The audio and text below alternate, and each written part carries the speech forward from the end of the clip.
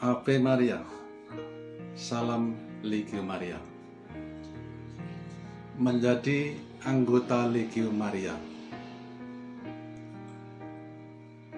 Presidium Legio Maria Hati Maria Tak Bernoda pernah ada di paroki Santa Maria Immaculata Tabanan di kisaran tahun 1964. Dalam perjalanan waktu, Presidium Hati Maria Tak Bernoda mengalami vakum.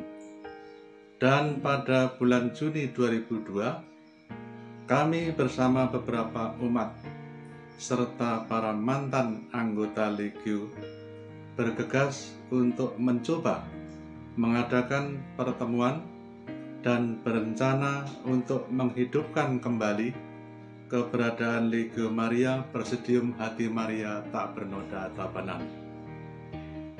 Setelah itu kami pun sepakat untuk menginformasikan kepada Ketua Kuria Ratu Para Rasul dan Pasar agar berkenan memberikan bimbingan kepada kami, para calon anggota.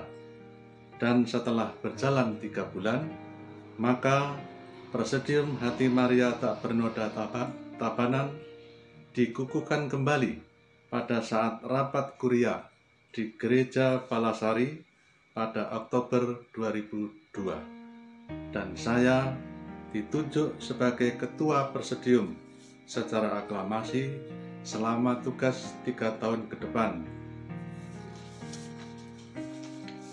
Dalam perjalanan waktu, beberapa kali mengalami perubahan susunan pengurus karena kepindahan tugas pastor paroki sebagai pemimpin rohani maupun suster sebagai asisten pemimpin rohani serta susunan para perwira presidium lainnya karena juga kepindahan tugas kerja tetapi saya masih terpilih kembali sebagai ketua presidium hingga periode berikutnya. Dalam menjalankan tugas sebagai legioner, baik rapat dan kunjungan-kunjungan, kami selalu mengedepankan kebersamaan, pembagian tugas, kunjungan, dan sebagainya. Walaupun terkadang juga ada rasa jenuh, tetapi kami tetap semangat karena kami telah berikrar mengucap janji setia kepada Bunda Maria sebagaimana yang kita lakukan pada Misa Azias setiap tahunnya. Setelah mengemban tugas sebagai Ketua Presidium Hati Maria Tak Bernoda Tabanan selama tiga periode, pada waktu itu Kuria Ratu Para Rasul dan Pasar mencari kader untuk dicalonkan menjadi ketua kuria mulai tahun 2012 untuk masa jabatan tiga tahun ke depan. Dan saya terpilih sebagai calon tunggal, lalu disahkan oleh perwira senatus Sinar Bundar Kamar Malang pada saat rapat kuria di gereja Franciscus Xaverius Kute pada bulan Juni tahun 2012. Pada saat itu, yang tergabung dalam Korea Ratu Parasul dan Pasar sebanyak 8 persedium. Dan kami selalu mengadakan rapat Korea setiap bulan secara bergiliran tempat dari 8 persedium tersebut. Adapun kami mempunyai mutu atau program untuk berkunjung ke beberapa paroki yang dulu pernah ada Legio Maria, bertemu dengan calon anggota, dan setelah mendapatkan calon anggota, lalu kami berupaya dapat bertemu dengan pastor paroki serta dewan paroki untuk melaporkan bahwa kami akan menghidupkan kembali Legio Maria dan beberapa calon pengurus sudah ada dan lanjut diadakan bimbingan selama tiga bulan lalu disahkan pada rapat kuria yang akan datang. Adapun dari hasil kerjasama dan semangat dengan para perwira, kuria, kuria, serta doa dari Bunda Maria, maka selama satu periode mendapat tambahan lagi 6 presidium. Jadi total yang bergabung di Kuria Ratu Para Rasul dan Pasar ada 14 presidium. Pada rapat Kuria berikutnya, kebetulan ada kunjungan dari Senatus Sinar Bunda Gamer Malang, diadakan lagi pemilihan pengurus baru Kuria Ratu Para Rasul dan Pasar karena sudah habis masa jabatan yang pertama.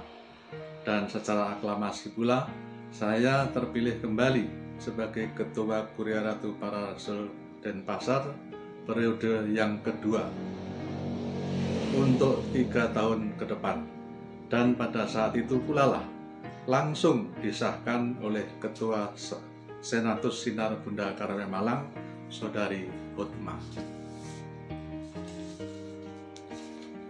Pada periode ini kami tetap lanjutkan program atau moto untuk menghidupkan kembali di gereja paroki yang dulu pernah ada berdiri Legio Maria.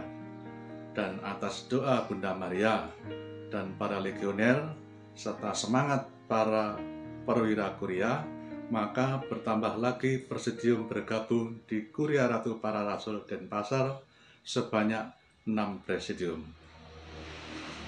Hal ini pula lah yang menjadikan inspirasi kami sesuai petunjuk dari Bapak Uskup Denpasar, Monsinyur Dr. Sylvester San Projo, bahwa kalau bisa agar seluruh paroki berdiri Legio Maria. Dan sampai saat ini, yang mana dari 23 paroki telah berdiri Legio Maria sebanyak 20 presidium.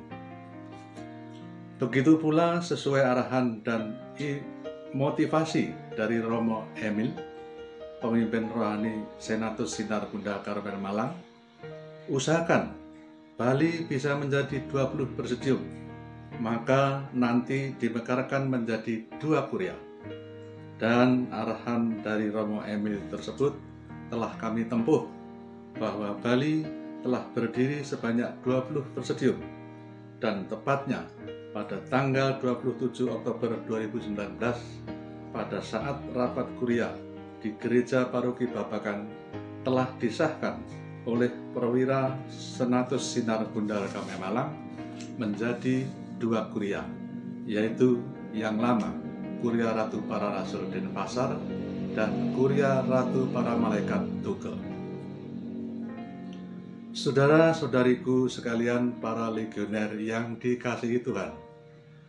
Dari pengalaman yang saya uraikan tersebut, sedikit saya sampaikan bagaimana suka dukanya menjadi anggota Legio Maria dan pengurus pengurus presidium maupun kuria. Sukanya saya bangga bisa mengenal lebih dekat dengan para pastor paroki dan para suster serta para anggota legioner dan semoga saudara-saudariku menjadi umat yang imannya teguh dan militan yang mana semangat daripada dulu hanya 8 presidium sekarang menjadi 20 presidium dukanya hampir tidak ada karena dari 20 presidium, hampir semuanya menerima dan membantu kami dengan baik untuk proses berdirinya Legio Maria Presidium. Hal-hal lain, baik intern maupun ekstern, yang membuat kurang pas, itu semua jadikanlah introspeksi, evaluasi sebagai motivasi untuk lebih semangat lagi Sekian, salam dan doaku. Ave Maria, Ave Maria, Ave Maria.